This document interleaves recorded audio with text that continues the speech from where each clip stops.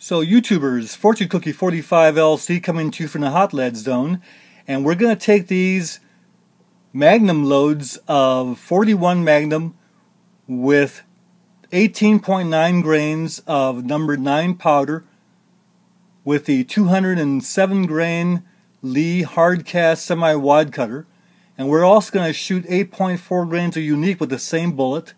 We're going to chronograph them at the range. We're going to use the Bisley Blackhawk 7.5 inch in 41 Magnum, and off to the range we go.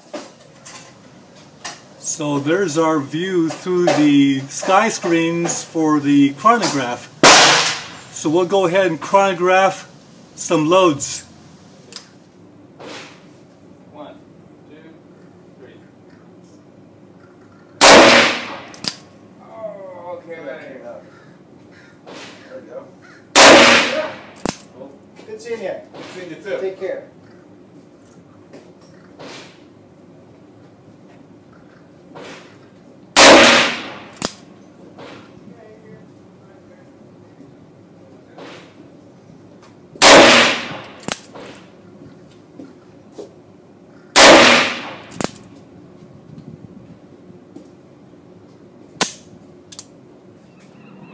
The Magnum load wasn't as good, so we're to have to tweak that a little bit more before we can find a good Magnum load for that pistol.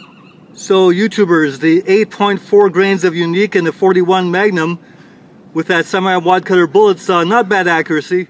So YouTubers, that 8.4 grains of Unique and 207 grain semi-wad cutter bullet in the Blackhawk Bisley, very accurate combination, and we were splitting playing cards with it today and it was a warm day without any wind.